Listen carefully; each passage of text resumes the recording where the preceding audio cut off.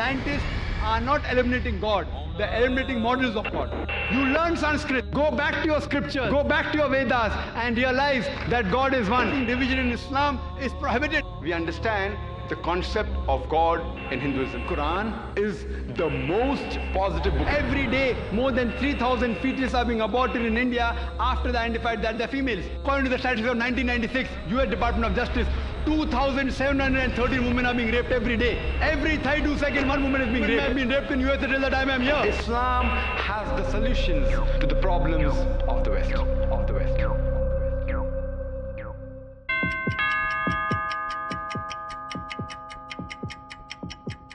Muhammad is and always will be the last and final prophet of Allah. He was a mercy unto the universe. Peace and blessings be on Al Mustafa.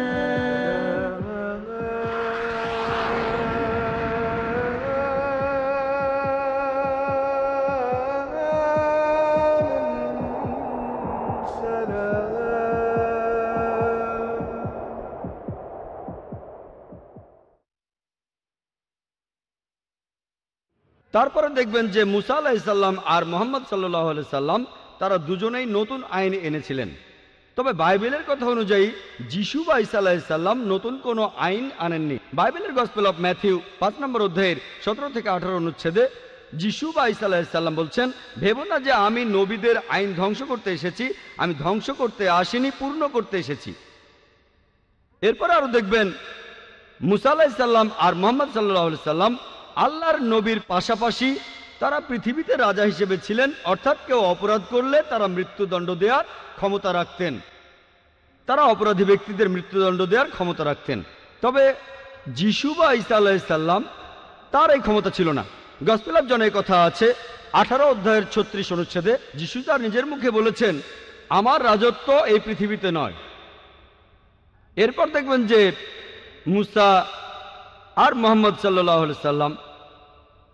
তাদের দুজনকেই, তাদের লোকজনেরা আল্লাহর নবী হিসেবে মেনে নিয়েছিল, বেশিরভাগই। তবে খ্রিস্টের ব্যাপারটা দেখেন, সে সময় বেশিরভাগ লোক তাকে আল্লাহর নবী বলে মেনে নেয়নি। গসপেল অফ জনের এক নম্বর অধ্যায়ের এগারো অনুচ্ছেদে বলা আছে, সবাই তাকে ত্যাগ করেছিল। তাহলে ভালো করে দেখলে আপনারা বুঝবেন যে মোহাম্মদ সাল্লাহ সাল্লাম হলেন মুসা আল্লাহ সাল্লামের মতো। কিন্তু ঈসা আলাহিসাল্লাম মুসা আলাহিসাল্লামের মতো নন। তাহলে এই ভবিষ্যৎবাণীটা বলছে আসলে নবীজি সাল্লাহ সাল্লাম সম্পর্কে। এখানে আরও বলা হয়েছে, আমি একজন নবী পাঠাবো তোমার ভাইদের মধ্য থেকে। আর আমরা জানি যে আরবরা হচ্ছে ইহুদিদের জ্ঞাতি ভাই। মুসানবী ইহুদি ছিলেন, মোহাম্মদ সাল্লাহ সাল্লাম ছিলেন আরব। তারা দুজনে শান্তিতে থাকুন। তাহলে আরব আর ইহুদিরা জ্ঞাতি ভাই। এরপর এখানে আরও বলা হয়েছে, আমি একজন নবী পাঠাবো, তোমার ভাইদের মধ্য থেকে যে হবে তোমার মতো, আর সে আমার কথা মতো ধর্ম প্রচার করবে, সে আমার আদেশ পালন করবে। আমরা জানি যে মোহাম্মদ সাল্লাহ সাল্লাম আল্লাহ তালার কাছ থেকে ওহি পেয়েছিলেন, আর যা শুনেছিলেন সেটাই তিনি প্রচার করেছিলেন, যেন তার মুখ দিয়ে আল্লাহর কথাই বের হচ্ছে, আর আল্লাহর আদেশে তিনি এসব করেছিলেন। তাই এই ভবিষ্যৎবাণীতে আসলে সর্বশেষ নবী মোহাম্মদ সাল্লাহ সাল্লাম সম্পর্কে বলা হয়েছে। এরপরের অনুচ্ছেদ বলছে বুক অব ডিটোরনমি আঠারো নম্বর অধ্যায়ের উনিশ অনুচ্ছেদ, বলা হয়েছে যে তোমরা যদি আমার কথা না মানো, তাহলে আমি তোমাদের উপরে প্রতিশোধ নেব। তার মানে যারা এই নবীর কথা মানবে না, যে নবী আসবেন, অর্থাৎ মোহাম্মদ সাল্লাহ সাল্লাম আল্লাহ তাদের উপর প্রতিশোধ নেবেন। এরপরে উল্লেখ আছে বুক অফ আজায় উনত্রিশ নম্বর অধ্যায়ের বারো নম্বর অনুচ্ছেদে বলা হয়েছে যে, আসমানি কিতাব দেয়া হবে তাকে যে শিক্ষিত নয়। কিতাব দেয়া হবে সেই নবীকে যে শিক্ষিত নয়। তাকে যখন বলা হবে, এটা পড়ো, আমি প্রার্থনা করছি। সে তখন বলবে, আমি পড়তে জানি না। আর আমরা জানি, নবীজি সাল্লাহ সাল্লামের কাছে যখন প্রথম হয়ে আসলো ফেরেস্তার জিব্রাইল আলাইসাল্লাম তাকে বললেন, ইকরা, পড়ো। আমাদের নবীজি মোহাম্মদ সাল্লাহ সাল্লাম বললেন, মা নাবিকারি। যার অর্থ আমি পড়তে জানি না। এভাবে বুক অফ আয়জায়ের উনত্রিশ নম্বর অধ্যায়ের বারো নম্বর অনুচ্ছেদের ভবিষ্যৎবাণীটা সত্যি হলো যে আসমানি কিতাব যে নবীকে দেয়া হলো সে শিক্ষিত নয়। আমরা জানি যে মোহাম্মদ সাল্লাহ সাল্লাম নিরক্ষর ছিলেন, তিনি ছিলেন উম্মি। আর যখন তাকে বলা হবে, পড়ো। তিনি তখন বলবেন, আমি পড়তে জানি না। নবীজি সেটাই বলেছিলেন মানাবি কারি এছাড়া ওল্ড টেস্টামেন্টে নবীজি সাল্লাহ সাল্লামের কথা নাম ধরেও উল্লেখ করা হয়েছে। এটা বলা হয়েছে সং অফ সলোমনে পাঁচ নম্বর অধ্যায়ের ষোলো অনুচ্ছেদে বলা হয়েছে, হিব্রুতে, হিক্কম আমিত্তাকিম উইকুল্লু মুহাম্মাদিম জেহদুদি ওয়া জেহরাই বাইনা জেরুজালেম, যার অর্থ তার কথা খুব মিষ্টি। সে খুব প্রিয় পাত্র, সে আমার প্রিয়জন, সে আমার বন্ধু, শোনো জেরুজালেমের কন্যারা। মুহাম্মাদিম শব্দটার অনুবাদ করা হয়েছে যে খুব প্রিয় পাত্র। তবে সেমেটিক ভাষায় দেখবেন, আরবি বা হিব্রুতে, ইম দিয়ে সম্মান বোঝানো হয়। যেমন ধরেন, এলো। আল্লাহ এলোহিম। সম্মান দেখানো। তাই মোহাম্মদকে সম্মান দেখাতে বলা হচ্ছে মোহাম্মদিম। সম্মান দেখাতে এভাবে বলা হয়েছে। তাহলে ওল্ড টেস্টামেন্টে নবীজির নাম ধরেই উল্লেখ করা হয়েছে। কিন্তু এখন যদি পড়েন, এটার অনুবাদ করা হয়েছে খুব প্রিয় পাত্র। আসুন এবারে দেখি, নিউ টেস্টামেন্টে মোহাম্মদ সাল্লাহ সাল্লাম সম্পর্কে কি বলা হয়েছে। এখন আমি যদি খ্রিস্টানদের কথা বলি ওল্ড টেস্টামেন্টে যেসব কথা বলা হয়েছে, সেটা তারা মানবে। কারণ এটা তাদের ধর্মগ্রন্থ বাইবেলেরই একটা অংশ।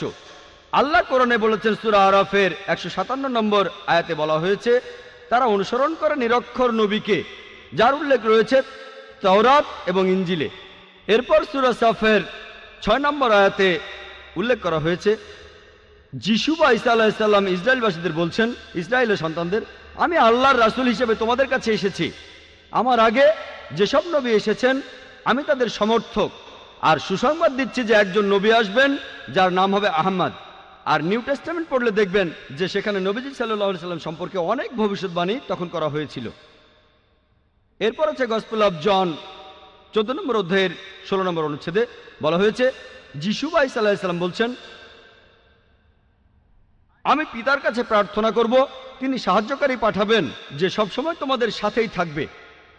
এরপর গসপুল অফ জন পনেরো অধ্যায় ছাব্বিশ অনুচ্ছেদে বলছে, যখন সেই সাহায্যকারী আসবে, আমার পিতা যাকে পাঠাবেন, সে আমার সম্মানটা বাড়িয়ে দেবে।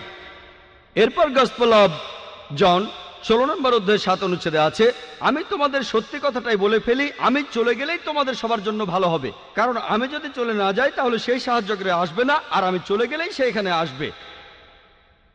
আর খ্রিস্টানদের বলতে শুনবেন, এই সাহায্যকারী বলতে বোঝায় পবিত্র আত্মাকে। এখন ভালো করে দেখেন গসপেল অফ জন ষোলো নম্বর অধ্যায়ের সাত নম্বর অনুচ্ছেদ বলছে, তোমাদের আমি সত্যি কথা বলছি, যিশু তার শিষ্যদের বলছেন, তোমাদের আমি সত্যি কথা বলছি, আমি চলে গেলে তোমাদের জন্যই ভালো হবে। কারণ আমি চলে না গেলে সে সাহায্যকারী আসবে না, আমি চলে গেলেই সে এখানে আসবে। সাহায্যকারীর পৃথিবীতে আসার শর্ত হলো যে যিশু বা ঈসা আলাহিসাল্লাম চলে যাবেন। তিনি চলে গেলেই সাহায্যকারী তারপর এখানে আসবেন।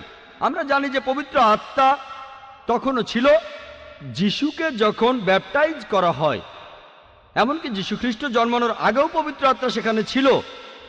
যখন তিনি মায়ের গর্ভে ছিলেন, অনেক জায়গায় বাইবেল বলা হয়েছে, তাহলে এই সাহায্যকারী আসলে পবিত্র আত্মা হতে পারে না। এরপরে দেখবেন এই সাহায্যকারী শব্দটা যদি গ্রিক বা অ্যারামাইক ভাষা দেখেন, গ্রিক ভাষায় এই শব্দটা হলো প্যারাক্লিট। এটার অনুবাদ করা হয়েছে সাহায্যকারী। প্যারাক্লিট শব্দটার অর্থ আসলে সমর্থন করা। মূল শব্দটা হলো প্যারাক্লিটস, যার অর্থ যে প্রশংসা করে অথবা যে প্রশংসা পাওয়ার যোগ্য। আমরা জানি যে আমাদের নবীজির দুটো নাম আছে, আহমেদ আর মোহাম্মদ সাল্লা সাল্লাম। এখন শব্দটা যাই হোক, ধরেন প্যারাক্লিটস যে প্রশংসা করে বা প্রশংসনীয়, অথবা ধরেন প্যারাক্লিট হোক সমর্থক বা সাহায্যকারী, আলহামদুলিল্লাহ, এই কথাগুলো সবচেয়ে বেশি মেলে সর্বশেষ নবী মোহাম্মদ সাল্লাহ সাল্লামের বেলায়। এরপর গসপেল অফ জনে বলা হয়েছে, ষোলো নম্বর অধ্যায়ের বারো থেকে চোদ্দ নম্বর অনুচ্ছেদে, যিশু বাইস আলাহিসাল্লাম বলছেন, তোমাদের আমি অনেক কথাই বলতে চাই, কিন্তু তোমরা এখন সেগুলো বুঝবে না। কারণ যখন সত্যের আত্মা তোমাদের কাছে আসবে, সে তোমাদের সত্যের পথে নিয়ে যাবে। সে তার নিজের কথা বলবে না, যে কথাগুলো শুনবে সেগুলোই বলবে। সে আমাকে মহিমান্বিত করবে, সে তোমাদের ভবিষ্যতের কথা বলবে। এখানে বলা হয়েছে, আমি তোমাদের অনেক কথা বলতে চাই, কিন্তু তোমরা এখন সেটা বুঝবে না। যীশুখ্রিস্ট তার শিষ্যদের বলছেন, আমি তোমাদের অনেক কথা বলতে চাই, কিন্তু তোমরা এখন সেগুলো বুঝবে না। কারণ যখন সত্যের আত্মা তোমাদের কাছে আসবে, সে তোমাদের সত্যের পথে নিয়ে যাবে, তার নিজের কথা বলবে না, সে যা শুনবে তাই বলবে। আমরা জানি নবীজির কাছে যে ওহি এসেছিল, তিনি সেটাই বলেছিলেন। সে তার নিজের কথা বলবে না, যে কথাগুলো শুনবে, সেগুলোই বলবে, সে তোমাদের ভবিষ্যতের কথা বলবে, সে আমাকে মহিমান্বিত করবে। আমরা জানি মোহাম্মদ সাল্লাহ সাল্লাম যিশুকে মহিমান্বিত করেছেন পবিত্র কোরআনে আর বিভিন্ন হাদিসে। আমরা মানি যিশু বা ইসা আলাহিসাল্লাম তিনি আল্লাহ সুবাহ তাল্লাহার প্রেরিত একজন রাসুল ছিলেন। আমরা মানি যে যিশু বা ইসা আলাহিসাল্লাম হলেন মসি অর্থাৎ খ্রিস্ট। বিশ্বাস করি যে তিনি অলৌকিকভাবে জন্মেছিলেন কোনো পুরুষের হস্তক্ষেপ ছাড়াই। যেটা অনেক আধুনিক খ্রিস্টান বিশ্বাস করে না। বিশ্বাস করি তিনি আল্লাহর আদেশে মৃত মানুষকে জীবিত করেছেন। বিশ্বাস করি তিনি আল্লাহর আদেশে জন্মান্ধ কুষ্ঠরোগীদের সুস্থ করেছেন। তাহলে নবীজি মোহাম্মদ সাল্লাহ সাল্লাম যিশু খ্রিস্টকে মহিমান্বিত করেছিলেন। তাহলে এই ভবিষ্যৎবাণীটাও আসলে আমাদের নবীজি মোহাম্মদ সাল্লাহ সাল্লাম সম্পর্কে বলছে। এই হলো সংক্ষেপে ইহুদি আর খ্রিস্টানদের ধর্মগ্রন্থে আমাদের নবীজির বর্ণনা। সময়ের স্বল্পতার কারণে এখানে আমি অনেক উদ্ধৃতির কথা বলিনি। এটা হলো সংক্ষেপে বিশাল আইসবার্গের মাথাটা। আমাদের নবীজি মোহাম্মদ সাল্লা সাল্লাম বিভিন্ন ধর্মগ্রন্থে তার সম্পর্কে কি বলা হয়েছে? আমার লেকচার শেষ করার আগে কোরআন থেকে একটা উদ্ধৃতি দেব। সুরা কাউসারের এক থেকে তিন নম্বর আয়াতে আল্লাহ বলেছেন ইন্না আতায়না কাল কাউসার, ফাসাল্লি রাব্বিকা ওয়ানহার, ইন্না শানিয়া কাহুয়াল আবদার। অর্থাৎ আমি তাকে দিয়েছি কল্যাণের প্রাচুর্য, কাউসার। আর তুমি কোরবানি করো, প্রতিপালকের নামে সালাত আদায় করো, যদি কেউ তোমাকে ঘৃণা করে, মোহাম্মদ সাল্লাহ সাল্লামকে, সেই ব্যক্তি তখন নির্বংশ হয়ে যাবে। ও আখরিদাওয়ান আলহামদুলিল্লাহ রবিল্লা আলমিন।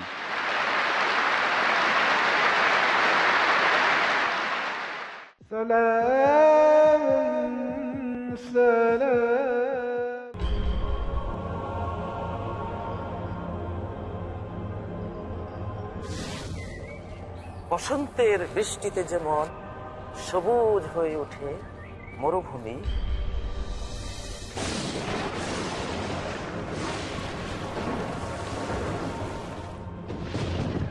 তেমনি জীবন্ত হয়ে ওঠে আল কোরআনের জ্ঞানের জন্মধারায় মানব হৃদয়।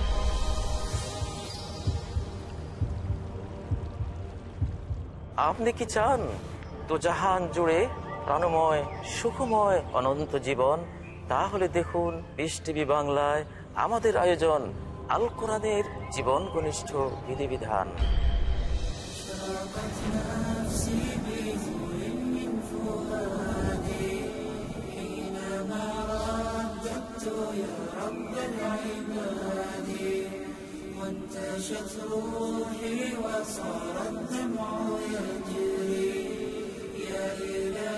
জানেন কত সুন্দরভাবে পবিত্র কোরআন অগণিত জীবনকে আলোকিত করেছে।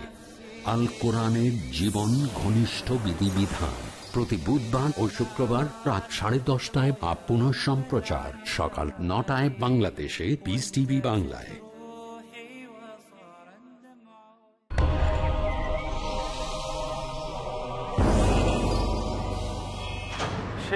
একজন আদর্শ মুসলিম ওয়ামান আহসানু দীনান মিম্মান আসলামা ওয়াজহাহু লিল্লাহ ওয়া হুয়া মুহসিন। যে তার সত্তাকে আল্লাহর জন্য একনিষ্ঠভাবে সৎকর্ম পরায়ণ হয়ে অনুগত করল।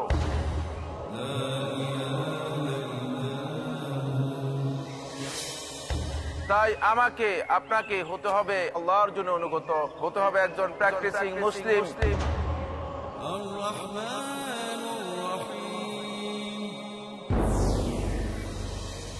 তাই একজন আদর্শ মুসলিম হতে হলে পিস টিভি বাংলায় দেখুন আমার আলোচনা একজন আদর্শ মুসলিমের করণীয়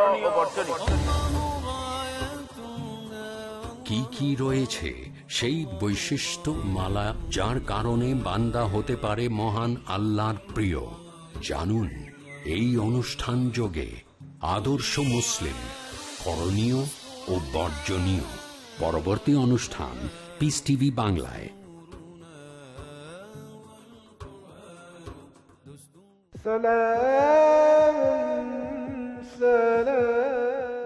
আমার নাম রামকৃষ্ণ, আমি ফিজিওথেরাপি ছাত্র। আমার প্রশ্ন হলো, আল্লাহর আদম হাওয়াকে সৃষ্টি করার কি প্রয়োজন ছিল, অথবা এই বিশ্বজগৎ এগুলো সৃষ্টি করে কি উপকার পাবেন? আমার দ্বিতীয় প্রশ্ন হলো সব কিছুই কেউ সৃষ্টি করেছে, তাহলে ঈশ্বর তাকেও অবশ্যই কেউ সৃষ্টি করেছে? আল্লাহ শব্দটার অর্থ কি? ভাই, তিনটা প্রশ্ন করেছেন। প্রথম প্রশ্নটা, আল্লাহ কেন আদম হাওয়াকে সৃষ্টি করলেন? এই সৃষ্টি করার কারণটা কি? বিশ্বজগৎ সৃষ্টির কারণ কি? আল্লাহ সৃষ্টি করেছেন আদম আর হাওয়াকে, তারা দুজনে শান্তিতে থাকুন। যাতে করে মানুষ যাতে আসতে পারে, তারা আমাদের সবার পূর্বপুরুষ। পবিত্র সূরা হুজুরাতের তেরো নম্বর আয়াতে উল্লেখ করা হয়েছে يا أيها الناس إنا خلقناكم من ذكر وأنثى وجعلناكم شعوبا وقبائل لتعارفوا إن أكرمكم عند الله أتقاكم إن الله عليم خبير হে মানুষ জাতি আমি তোমাদের সৃষ্টি করেছি এক পুরুষ ও এক নারী হতে আর তোমাদের বিভক্ত করেছি বিভিন্ন জাতি আর গোত্রে যেন তোমরা অন্যের সাথে পরিচিত হতে পারো এই জন্য নয় যে অন্যকে ঘৃণা করবে আর আল্লাহর কাছে অধিক মর্যাদা সম্পন্ন সেই ব্যক্তি যার আছে তাকোয়া আল্লাহ যেটার মাধ্যমে মানুষের বিচার করেন, টাকা পয়সা নয়, গায়ের রং নয়, জাতি বা গোত্র নয় ধর্মমত নয়, সেটা হলো তাকোয়া সেটা হলো আল্লাহকে মানা ন্যায় পরায়ণতা ধার্মিকতা। তাহলে আদম আর হাওয়া আলাহিসাল্লাম তারা আমাদের সবার পূর্বপুরুষ। আপনারও পূর্বপুরুষ, আমারও পূর্বপুরুষ, সব মানুষের। সেজন্য আপনাকে ভাই বলে ডেকেছি ভাই, সব মানুষ ভাই ভাই। আল্লাহ বলেছেন, ইয়া আইয়ুহান্নাস হে মানুষ জাতি। আর পবিত্র করণে সুরা ইসরার সত্তর নম্বর আয়াতে উল্লেখ করা হয়েছে ওয়ালাকাত কাররামনা বানি আদামা। আল্লাহ তালা মর্যাদা দিয়েছেন সব আদম সন্তানকেই। হোক আপনি জন্ম নেন ইন্ডিয়ায়, আমেরিকায়, ইংল্যান্ডে জন্মান কোনো হিন্দু পরিবারে বা মুসলিম পরিবারে বা খ্রিস্টান পরিবারে, আল্লাহ বলেছেন তিনি সব মানুষকে মর্যাদা দিয়েছেন। মানুষে জন্মালে আল্লাহ তাকে মর্যাদা দেবেন। সে হোক আপনার নাম, জাকির, আব্দুল্লাহ, রামু, শঙ্কর, মানুষে জন্মালে আল্লাহ মর্যাদা দেবেন। আপনার প্রশ্নতে আসি, কেন আল্লাহ তালা মানুষ সৃষ্টি করলেন? আল্লাহ মানুষ সৃষ্টি করেছেন কারণ আল্লাহ বলেছেন, মানুষ হলো আল্লাহ সৃষ্টির মধ্যে সেরা। আল্লাহ তালা অন্য যা কিছু সৃষ্টি করেছেন, তা আল্লাহকে মানে।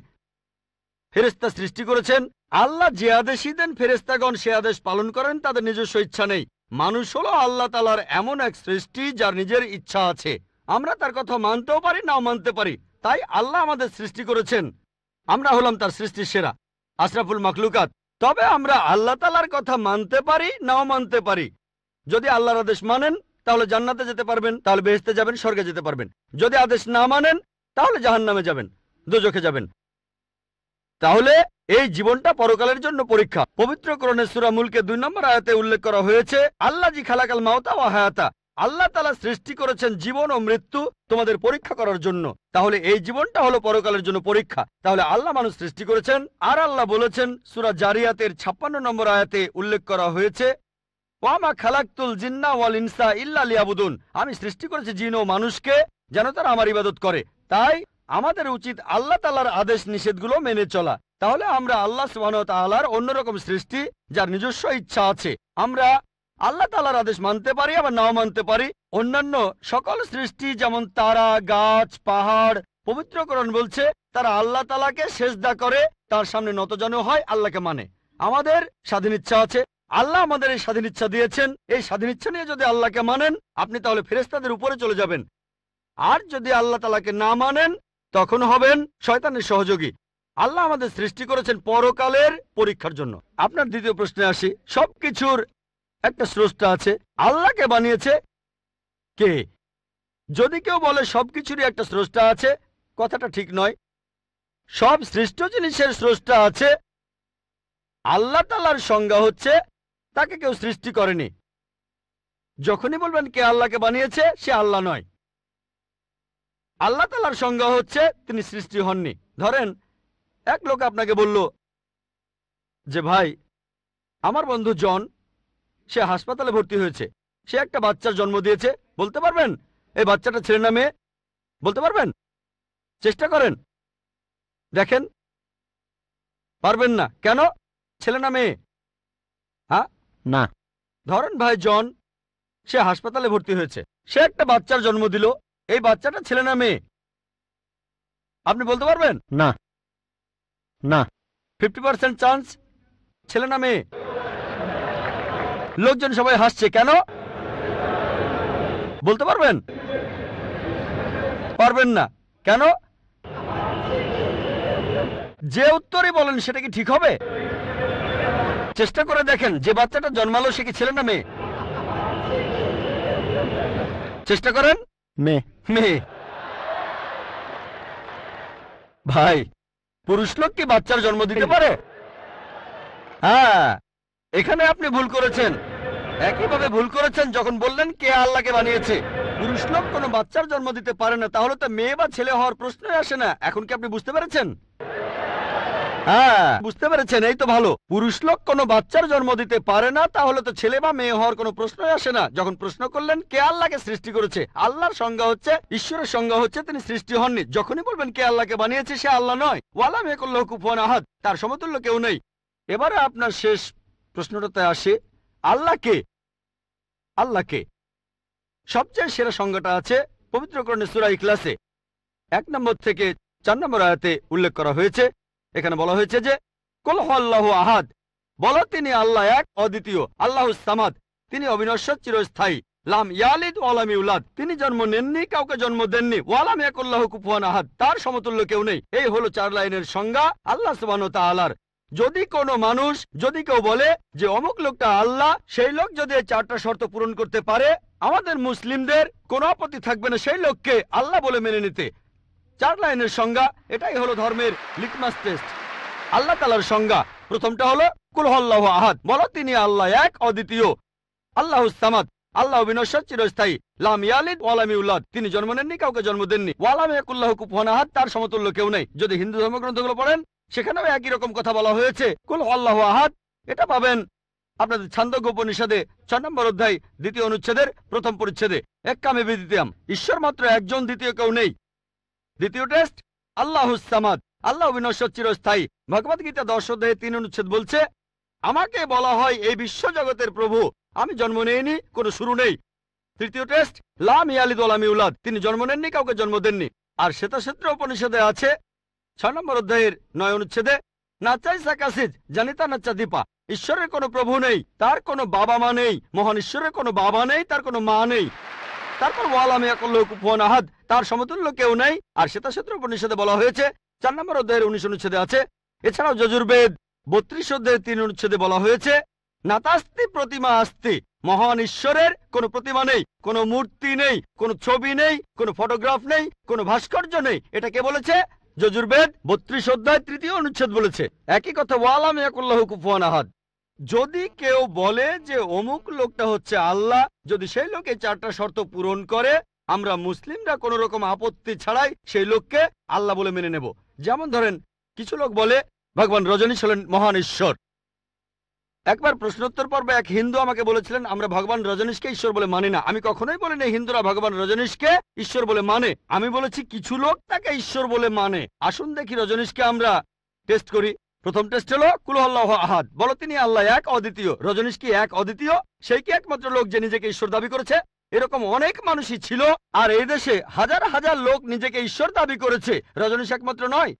তবে রজনীশ ভক্তরা বলে না না, উনি একটু আলাদা। এবারে পরের টেস্টে দেখি। আল্লাহ সামাদ। আল্লাহ অবিনশ্বর চিরস্থায়ী। রজনীশ কি অবিনশ্বর চিরস্থায়ী? আমরা তার জীবনী থেকে জানি, তার আত্মজীবনী থেকে রজনীশ ভুগছিলেন অ্যাজমা ডায়াবেটিস আর পিঠের ব্যথায়। চিন্তা করেন, মহান ঈশ্বরের হয়েছে অ্যাজমা, ডায়াবেটিস, পিঠের ব্যথা। তৃতীয় টেস্ট লামিয়ালিদ আলামিউলাদ তিনি জন্ম নেননি, কাউকে জন্ম দেননি। ভগবান রজনীশ জন্মেছিলেন মধ্যপ্রদেশে, তার বাবা মাও ছিলেন। উনিশশো একাশি সালে তিনি আমেরিকায় গেলেন, ইউএসএ। তখন হাজারো আমেরিকান তার ভক্ত হয়ে গেল। তারপর আমেরিকার অরিগন প্রদেশে তিনি বানালেন একটা সেন্টার, আর তার নাম দিলেন রজনীশপুরম, তার গ্রাম। পরবর্তীতে আমেরিকান সরকার তাকে অ্যারেস্ট করে কারাবন্দি করে রাখল। রজনীশ বলতো যে, আমেরিকান সরকার তাকে স্লো পয়জনিং করেছে। চিন্তা করেন, মহান ঈশ্বরকে স্লো পয়জনিং করা হয়েছে। উনিশশো পঁচাশি সালে আমেরিকান সরকার তাকে বের করে দিলে, সে ইন্ডিয়ায় চলে আসে। তারপর এখানে পুনায় সে আরেকটা সেন্টার খুললো, আর তার নাম দেওয়া হলো ওশো কমিউন। যদি রজনীশের সমাধির কাছে কখনো যান, তার সমাধির উপরে লেখা আছে, ভগবান রজনীশ ওশো কখনো জন্মাননি, কখনো মরেননি তবে পৃথিবীতে ভ্রমণ করেছেন উনিশশো একত্রিশ সালের এগারো ডিসেম্বর থেকে উনিশশো নব্বই সালের একত্রিশে জানুয়ারি পর্যন্ত। কখনো জন্মাননি, কখনো মরেননি, তবে পৃথিবীতে ভ্রমণ করেছেন উনিশশো একত্রিশ সালের এগারো ডিসেম্বর থেকে উনিশশো নব্বই সালের একত্রিশে জানুয়ারি পর্যন্ত তার সমাধিতে এটা লিখতে ভুলে গেছে যে পৃথিবীর একুশটা দেশ তাকে ভিসা দেয়নি। মহান ঈশ্বর আসলেন এই পৃথিবীতে পৃথিবী ঘোরার জন্য, বিভিন্ন দেশে যাওয়ার জন্য তার নাকি ভিসাও লাগে। তখন গ্রিসের আর্ক বিশপ বলেছিলেন, যদি রজনীশকে এই দেশ থেকে তাড়িয়ে না দেওয়া হয়, আগে তার ঘর পোড়াবো, তারপর ভক্তদের ঘর পোড়াবো। শেষ টেস্ট, ওয়ালাম ইয়াকুল্লাহ কুফান আহাদ। পরীক্ষাটা এতই কঠিন যে একমাত্র আল্লাহ ছাড়া কেউই পাশ করবে না। যখনই আল্লাহর সাথে কারও তুলনা করবেন, সে আল্লাহ নয়, ওয়ালাম ইয়াকুল্লাহ কুফুয়ান আহাদ। এখন ভগবান রজনীশ অন্য অনেক মানুষের মতো মুখে দাঁড়িয়ে ছিল, একটা নাক, দুটো চোখ দুটো কান, দুটো হাত, যখন আল্লাহর সাথে পৃথিবীর কোনো কিছুর তুলনা করবেন, সে আল্লাহ নয়। ওয়ালাম কুফুয়ান আহাদ। যদি কেউ বলে যে আল্লাহ তালা হাজার গুণ বেশি শক্তিশালী, আপনারা কি সোয়াজনেগারের নাম শুনেছেন? এই লোকের নাম কখনো শুনেছেন? কখনো শুনেছেন তার নাম? এই লোক একটা সময় ছিল মিস্টার ওয়ার্ল্ড, মিস্টার ইউনিভার্স। পৃথিবীর সবচেয়ে শক্তিশালী লোক, বিশ্বজগতের সবচেয়ে শক্তিশালী লোক। যখনই আল্লাহকে তুলনা করবেন কোনো কিছুর সাথে, হোক সেটা আর্নল্ড সোয়াজনেগার হোক সেটা দারা সিং, হোক সেটা কিংকং হোক সেটা হাজার গুণ বা লক্ষ গুণ। যখনই আল্লাহর সাথে এই পৃথিবীর কোনো কিছুর তুলনা করবেন, সে আল্লাহ নয়। ও আল্লাহ ইয়াকুল্লাহ কুফুয়ান আহাদ। তার সমতুল্য কেউ নাই। তাহলে এই হলো চার লাইনের সঙ্গে আল্লাহ সুবাহ তাআলার পবিত্রকরণে আছে। আপনি যে ঈশ্বরের পুজো করছেন, ভাই, সেই ঈশ্বরকে সুরা ক্লাস দিয়ে টেস্ট করুন। যদি তিনি পাশ করেন, তাহলে সত্যিকারের ঈশ্বর, তা না হলে নকল ঈশ্বর।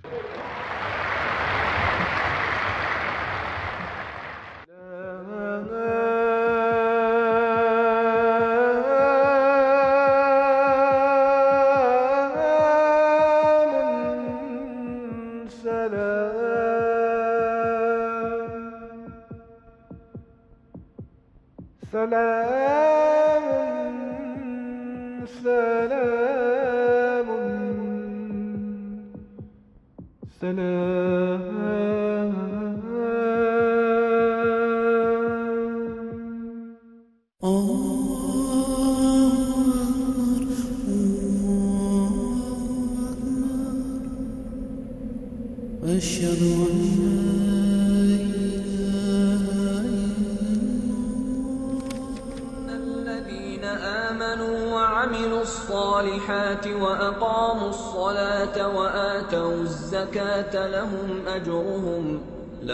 أجرهم عند ربهم ولا خوف عليهم ولا هم يحزنون.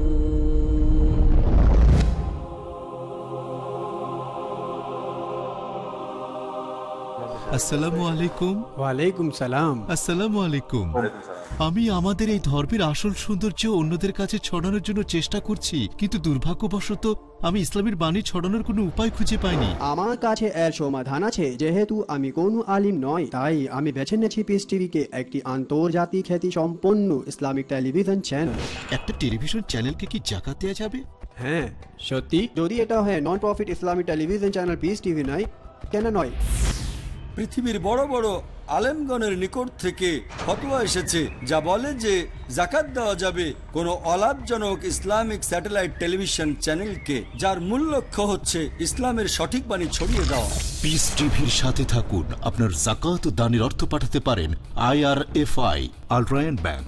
কোয়াড্রান কোড আটচল্লিশ Calthorpe road, Birmingham UK pound account number শূন্য এক এক তিন দুই তিন শূন্য এক আই ব্যান জিবি বাহান্ন এল ও ওয়াইডি তিন শূন্য নয় ছয় তিন চার শূন্য এক, শূন্য দুই চার এক, নয় দুই শর্ট কোড তিন শূন্য শূন্য শূন্য আট তিন সোয়েব BIC code I BO BGB বাইশ।